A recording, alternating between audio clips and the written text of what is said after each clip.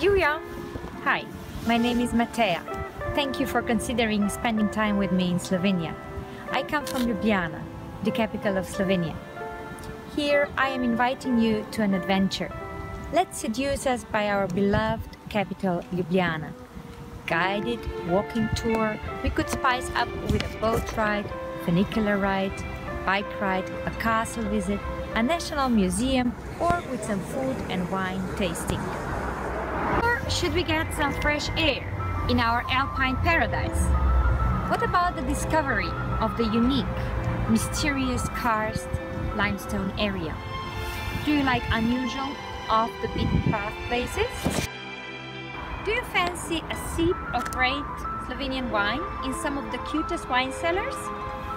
I would be very pleased to escort you to our neighboring countries like Italy, Austria or Croatia. We are just an hour away from here.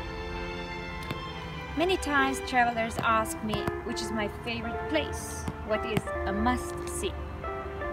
The answer is not so simple. Every step of the area talks about the rich, natural and cultural heritage, which represents influences from north, east, south and west. Our everyday life is a mix of Germanic punctuality, Latin temperament and Slavic melancholy. So, contact me. Together we are going to make a great program. I promise you, we shall plunge into the secrets of kept by locals. I would like to be a part of your lifetime memorable experience. Just make sure you will have enough time for us. Welcome. Dobrodošli.